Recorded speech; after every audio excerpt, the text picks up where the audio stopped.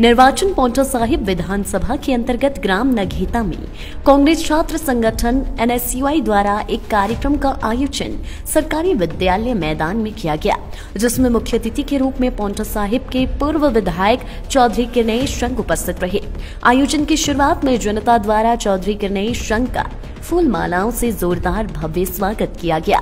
स्वागत के दौरान चौधरी गणेश शंख के समर्थन में नारेबाजी की गई। साथ ही में युवाओं व ग्रामीणों ने नाटे डालकर माहौल को खुशनुमा बना दिया। पौंटा के पूर्व विधायक चौधरी गणेश शंख ने सभी को बूढ़ी दिवाली की बधाई देकर संबोधन शुरू किया एवं अपने संबोधन में कांग्रेस के कार्यकाल में किए गए अनेकों विकास कार्यों द्वारा अवगत करवाया गया।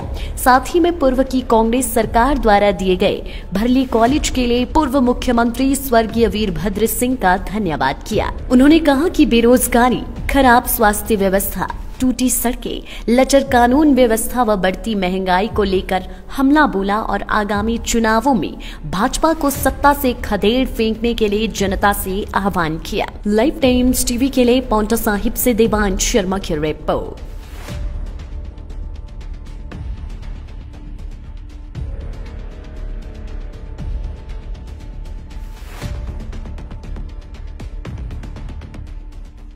हिमाचल के सबसे बड़ी ऑटो डीलरशिप गोयल मोटर्स में नौकरी करने का सुनहरा अवसर। सोलन, शिमला, सिरमौर और किन्नौर में चाहिए।